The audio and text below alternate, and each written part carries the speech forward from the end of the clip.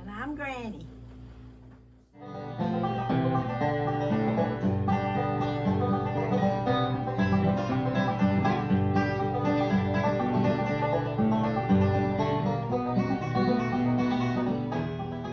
For someone who's on a budget, what's a good gift they could give to family?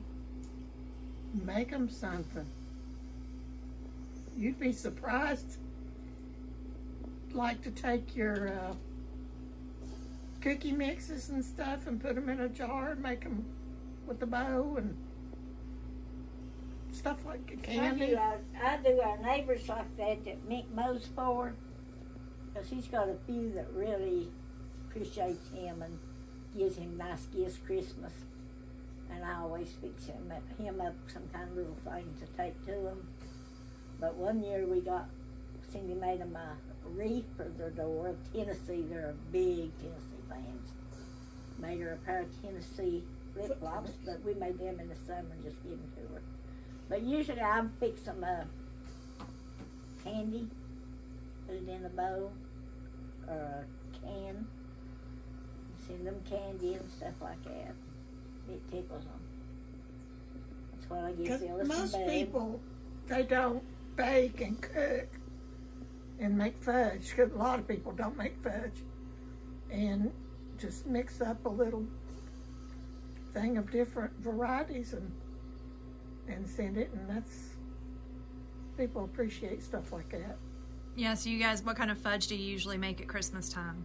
Uh, peanut butter's my favorite. Make peanut Chocolate's butter, chocolate, chocolate with walnuts. Peanut butter balls. Mm-hmm. That's yeah, that's our main. We make about four or five batches of those. Is it peanut butter fudge dipped in chocolate or It's or? peanut butter balls dipped in chocolate. You keep making that for your mama.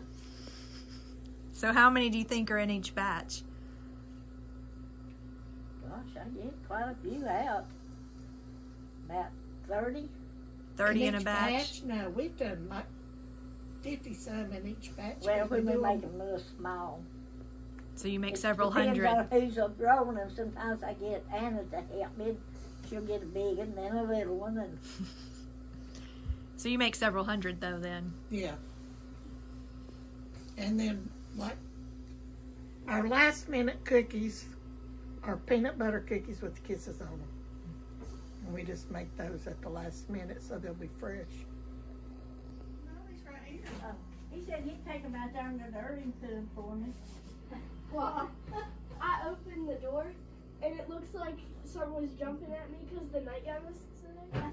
Those are Maybe to my scrubby, like when you got your makeup and stuff on to scrub your face. Mm.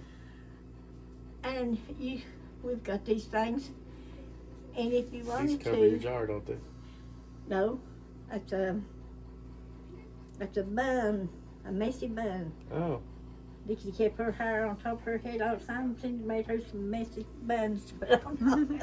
And and those are these are the best things ever was. I love them. You put them over your pot lid. mm-hmm. They're a pot holder. Nick was down Sonic every other day. and I love these. These are the perfect kinds of Christmas gifts. Well, I got plenty of them. You, you want to sell them? Those for, we made them for this class, but we give Debbie two for Christmas, and Debbie loved them for wash shades. She said Her it and- takes dry skin off quicker than anything. Her and Kevin, so we had to make them some. So I had to make your daddy a camouflage. I'm just stuff that we've got in here in our boxes, and we've got boxes and boxes of everything. That ain't the start. Now Cindy's just got through doing these. We've got a set of them. We got four. Those, but then Cindy used them all. Kleenex holders. We used them when we were sick. There's Tennessee. John Deere. What do you think about Dollar Tree no longer being just a dollar? The only one I have run into is Elizabeth. The Patty has not done theirs or any of the others so far. Are you for this or against it? I'm against it. They say it's better stuff, but now you can't just go in. Had. now you just can't go in and pick up whatever you want. You know. No, they they did have some pretty Christmas stuff, but all the Christmas stuff was five dollars, and the washing powders and stuff like that we'd been buying was three dollars. But we Well, if I'm gonna pay five dollars for something at a Dollar Tree, I'm gonna go to Walmart or Dollar General. If I'm going to the Dollar Tree, I'm gonna pay a dollar. Or it can sit there. They don't have to- Thanks, Cindy here, and this is the projects I've been working on. Now, Mama, the one that makes the cakes, she does that fancy calligraphy writing. And she wrote on the top our names. I have Thomas Dunn. I have Anna Dunn. And I have Mama Dunn. And I was working on me when I got COVID, so I haven't got me finished yet, but I'll be able to get me finished pretty soon. But you just embroider and you fill it in, make it look real fancy and pretty.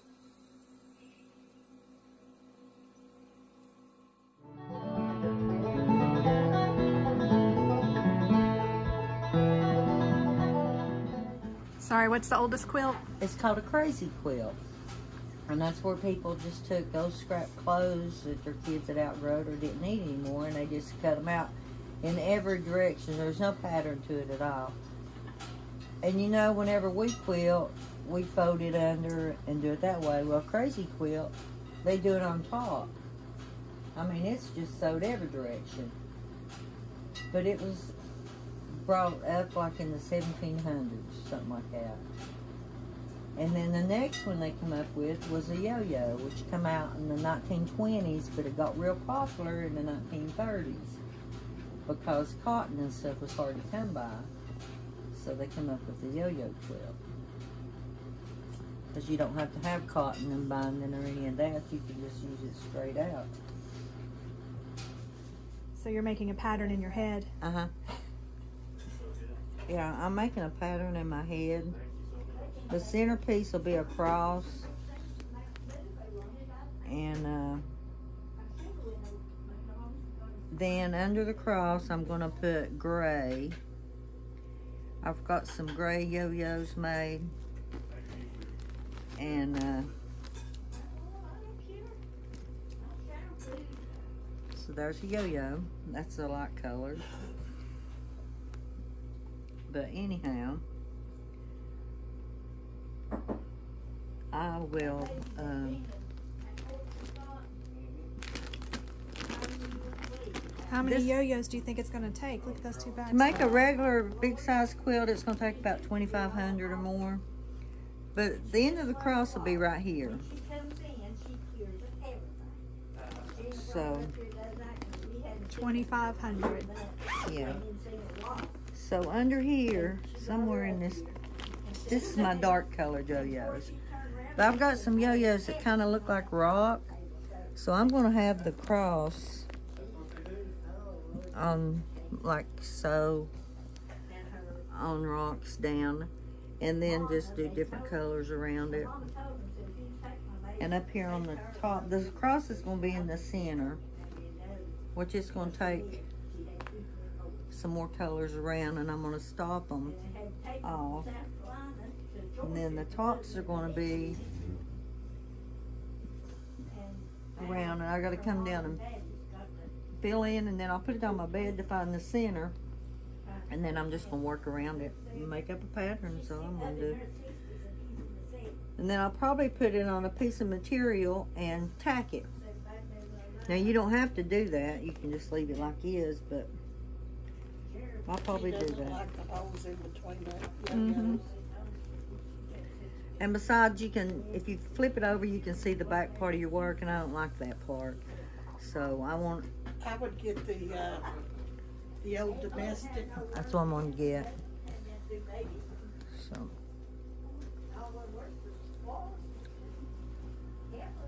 Are you working on any quilts for gifts this year? No. You did that last year. How many quilts did you give away as gifts last year? Three kids. I just done Nathan Jeremy one last year, didn't I? I done two for gifts last year.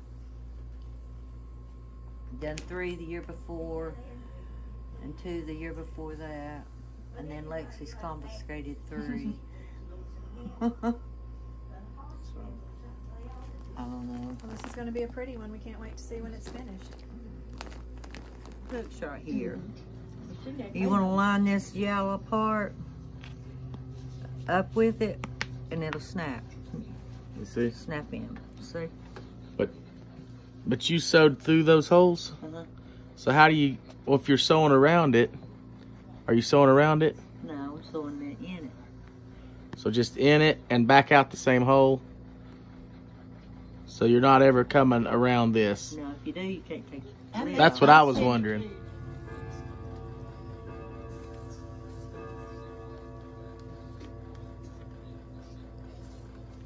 And y'all are the crew just supervising over here? I guess we're taking lessons because she bought me one to do. So then you just take, you double your thread and your needle. Put your knot in it and you fold this under. And you start out with going and under it. And then you come back out on the other side of the same hook. Gotcha. Like that. And you go all the way around it. Evan, she says she'll have a fit. I know. her twenty years to get her quilt made. And I've done that many in less than two weeks, haven't I, Cindy? Yeah, but every time we call you, you're yo-yoing. Well, I ain't got nothing else to do. I get up around 5.30 or 6 o'clock and get my housework done. And decide what I'm going to fix for supper. And then I get in my, make me a nest. And I sit down and I yo-yo. And I set my phone, my alarm, to 5 minutes till 2 so I don't forget to go get Will. And then I go to Elizabethton and get Will, and I sit in the car and yo-yo till he gets in the car, and we go home. Wow. I get up and go pee and go back to bed. Get up and go pee and go back to bed. And then I get up and jump start my lungs and I By the time I get that done- it's uh time to start supper. Supper. And then I clean up the kitchen. And then I make me another nest, and then it turns on the westerns. And we watch Gunsmoke, and I yo-yo till 10 o'clock. And then I watch the news, and then I go to bed, and then I yo-yo again the next day. Well, it depends on what's on TV. Monday night we watch Dancing with the Stars and record the voice and then go back and watch the voice. Tuesday night we watch the voice and then there's nothing else. I, I watch JP the Bee Man on YouTube, collecting all these honeybees and it is very, very educational. Wednesday night we got The Masked Singer and Married at First Sight. Uh, Thursday night. Well, there's this new little 30 minute show come on. It's a comedy about ghosts. Uh, it's pretty cute. I watch it. Friday night, unless this, now that football's over with, nothing. Well, I know what you watch on Friday night. Well, we always watch YouTube. Gotta watch Granny night Women We watch YouTube. every Friday night at 7 p.m.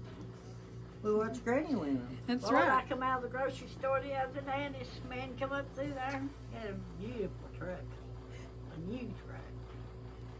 He said, You're that lady that's on that cooking show? Said, My wife's a sitting over there in the truck. Said, She won't miss you all a Friday night. She watches it every Friday night. Well, I went back in there yesterday or the day before.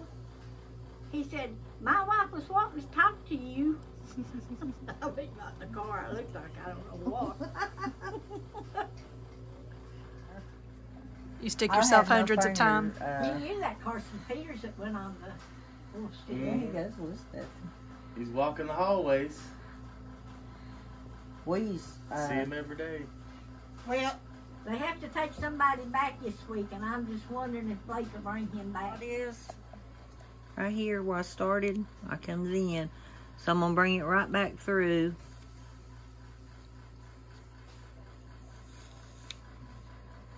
And then I'm gonna pop it off mm-hmm. and see where it's all the way around.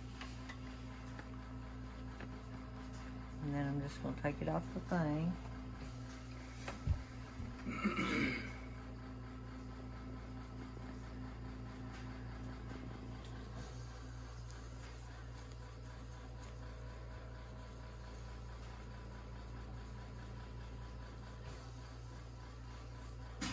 Well, it don't matter where they take him or not, 'cause he's already been to the Grand Ole Opry and everywhere. Mm-hmm. Oh yeah, he's already got his name established. Well, he's every in mid middle school just about.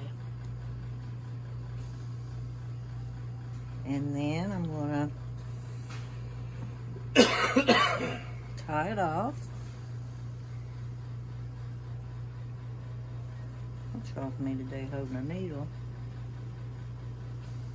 I don't know how you how you tie tie a knot. I can't tie a knot. I keep Cindy to it. Huh? tie a knot. My fingers is so numb. I can't tie a knot.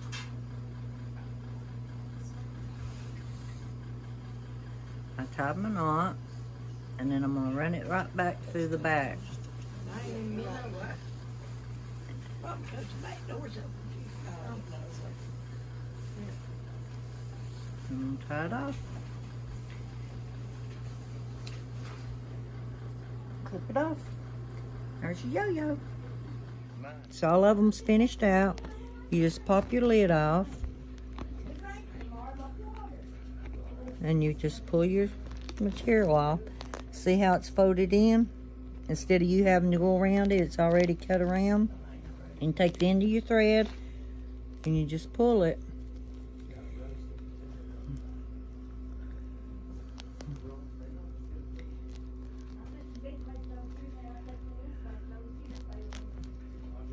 And then you just pull your ends out.